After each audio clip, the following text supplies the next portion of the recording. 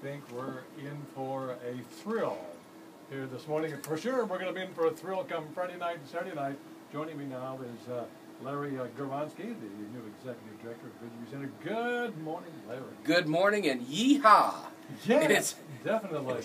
and we, we, we are hoping to have join us uh, by phone is uh, Kelly Kennedy. He is the announcer for the Bull Riders of America um, uh, show. Hi Kelly, this is Rick. And I'm um, trying to make contact that is what you. we're going to talk about this afternoon All of right, Mid Morning exactly. Magazine. With me. It's I tell you what, it, it's it was a phenomenon yesterday to uh, to begin the process of bringing over 600 tons tons of dirt into the building for the first time ever, and to see the uh, the city of Ottumwa uh, streets department uh, working in concert, dump truck after dump truck, and uh, and one of the ladies from the uh, from the, the department riding that bobcat and working it like uh, like you and I are moving our hands and our feet, and they, they moved that 600 tons in. It looks great, and we've got now an 80 by 160 foot arena of dirt. We've got all the uh, the risers in place,